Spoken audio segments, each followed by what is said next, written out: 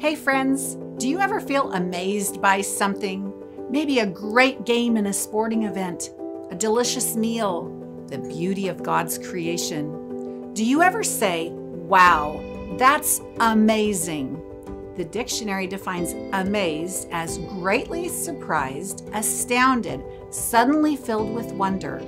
In the New Testament, the word thaumazo is translated as marvel, wonder, or amazed. There are many scriptures that describe the people being amazed at Jesus, at his power and his wisdom. Matthew 8 27 says the disciples were amazed. Who is this man?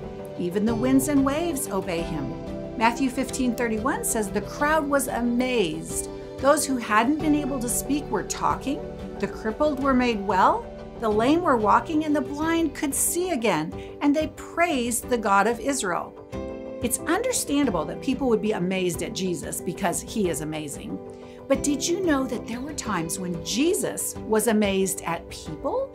Luke 7 tells about the time a Roman officer asked Jesus to heal his slave, but said that Jesus didn't need to come to his home.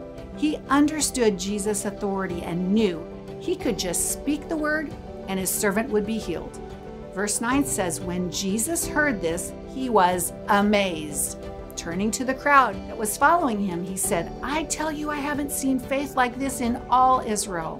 What an honor for this man to have such great faith that would even amaze Jesus. But another time, Jesus visited his hometown of Nazareth, but because of the people's unbelief, Jesus couldn't do any miracles except to heal a few sick people.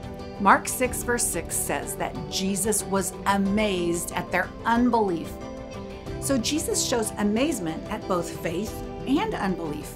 We as people have the ability to amaze Jesus, but I want to be one who amazes Jesus by my faith, not my unbelief.